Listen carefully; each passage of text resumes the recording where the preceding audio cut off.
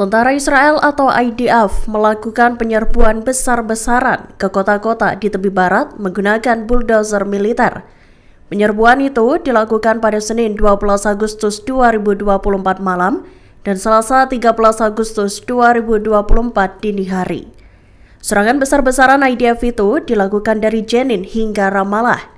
Diketahui terdapat perlawanan dari militan Hamas. Dikutip dari Tribun News, IDF menyerbu Airport Street sebelah utara kegubernuran Jenin. Mereka juga menyerang kota dari Nazareth Street di tengah tembakan dan sirine yang meraung.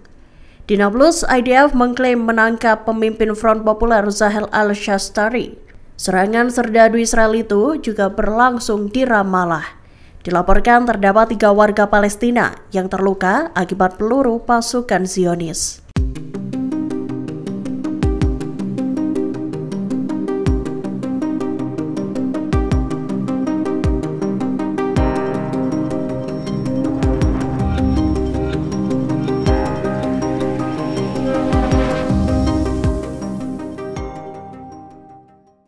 Download Tribun X sekarang.